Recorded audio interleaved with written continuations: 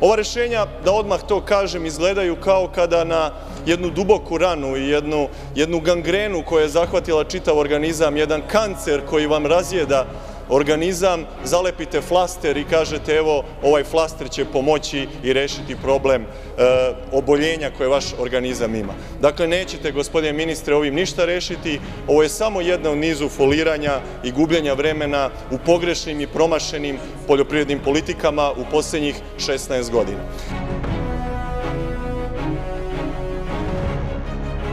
Iseljavanje iz sela u manje gradove, iz manjih gradova u veće gradove, iz većih gradova u Beograd, pa i u inostranstvo. Dakle, sela nam se prazne.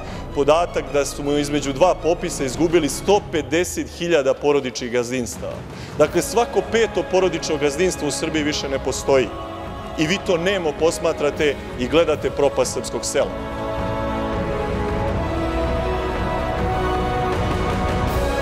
Sad mi ne znamo više da pravimo ni traktore, ni motokultivatore, ni svu priključnu mehanizaciju, ni kombajne, ni sve ono što smo donedavno znali da pravimo.